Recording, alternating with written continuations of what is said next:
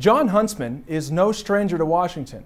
He served as ambassador to China under the Obama administration until April 2011 when he resigned to run for the 2012 Republican nomination for president. Huntsman is a former popular two term governor of Utah who once held a 90% approval rating in the state. Huntsman's held positions in the Reagan, Obama, and both Bush administrations and says he believes in serving his country regardless of party affiliation. Huntsman sat down with us to discuss the failure of his bid for the presidency and China in the coming years. You campaigned for president uh, in, for, in the Republican primary. What an experience, right? Was it a good experience? It was a wonderful experience. Uh, you're reminded uh, just how many people out there in the early primary states actually take their citizenship seriously. Mm -hmm. They want good leadership, they want solutions to problems, they want a country that they feel is experiencing a lull uh, to get moving in the right direction. And, and that was a renewal of sorts in terms of how I saw our political system, mm -hmm. having done a thousand town hall meetings and interacted a lot with uh, the early primary voters. If you don't pander, you're in trouble. If you don't sign those silly pledges, you can find yourself in trouble. And uh, I would have uh, nothing to do with, uh, with either one of them. Would you trade it for anything? No, I wouldn't trade it for anything because you learn a lot about yourself. You learn a lot about the system, the process, and uh, heaven forbid if you're ever crazy enough to do it again, you've got a head start uh, uh, in the game. But I'd have to say for me and also for my family, because I had uh, a wife and three girls, three daughters, who were very involved in the campaign process and who had their own outreach effort. The Jon 2012 girls. It was humorous, it was witty, they made good use of, uh, of uh, social uh, networking, social media, uh, to make it all happen. Mm -hmm. So, not just for me, but indeed for our entire family it was uh, it was it was an experience. Absolutely. So you suspended that campaign for the presidency on January 16th, coming out of New Hampshire. Um, you put everything on New Hampshire. You bet the house on New Hampshire. Uh, I you did. spent all of your time there. Um, what happened, and why do you think that your message didn't resonate with the voters in New Hampshire uh, to the tune of first place? Was it just Mitt Romney's time? He'd been campaigning for six years. Uh, what do you think went on there? Well, we got in the campaign late. And uh, I think that means something. There's a certain aspect to the cycles, the timing of primaries. We got in late. We didn't have the head start that other people had. And I really do believe that on the organizing side, certain people held against me the fact that I'd worked for a Democrat, mm. that I'd cross party lines. It's part of who I am. I mean, I believe in putting my country first. And I found that there were certain barriers that folks could not get over uh, about uh, my being in the race.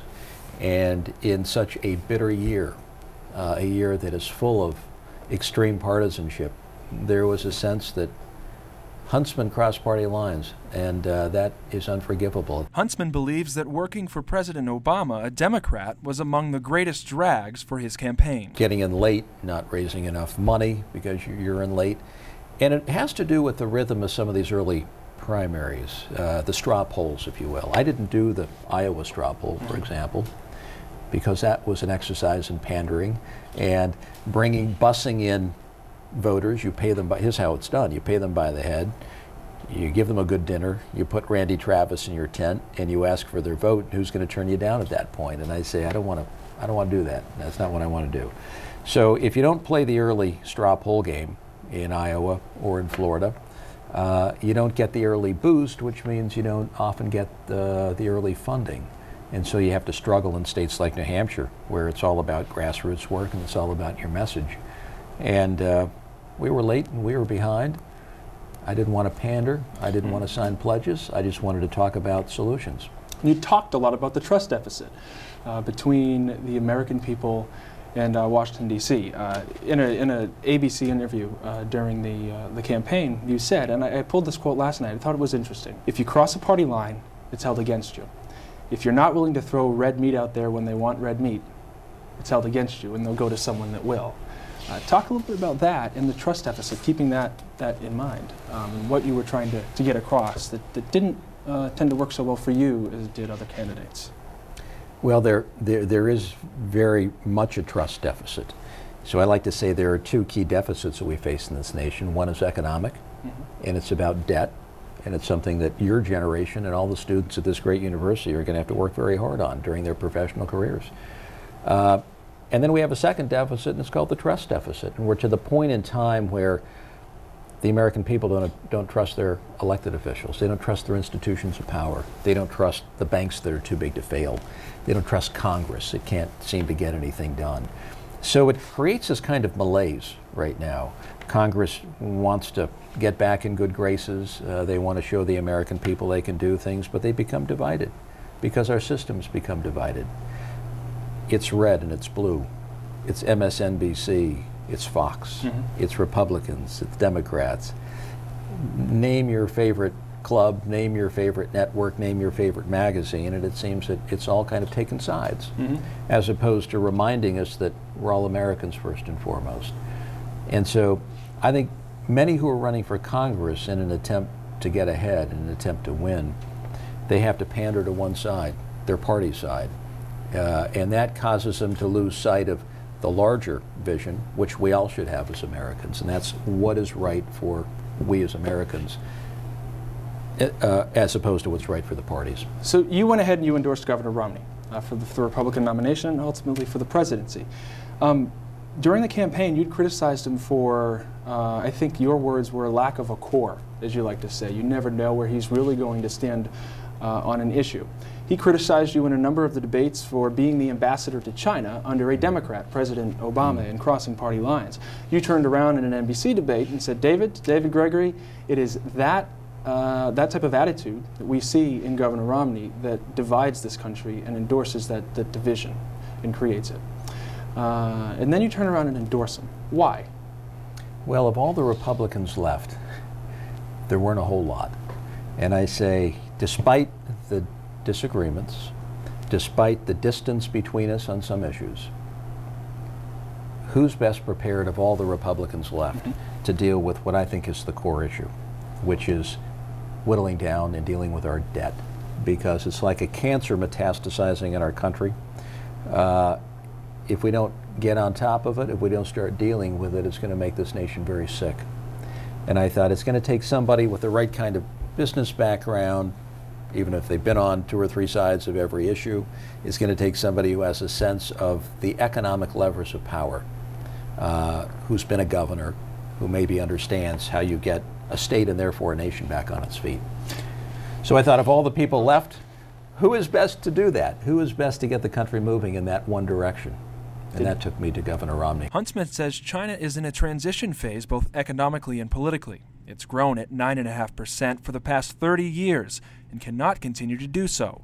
According to Huntsman, this will all result in a drop in foreign investment in China. And if China's GDP is going from 8, 9, 10%, 30 years running roughly, to more like 5, 6, 7%, that's going to cause a concomitant rise in unemployment.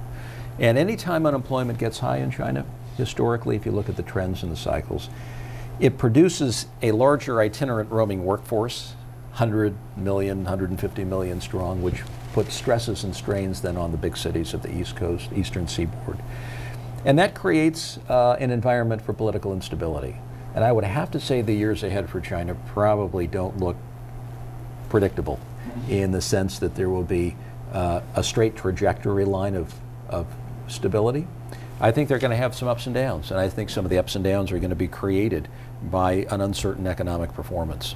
What does that mean? It means that investors are going to be looking for alternatives. You know, everyone's gone to China, costs are better. Uh, it seems to be the name of the game for a lot of people over the last 10 and 20 years.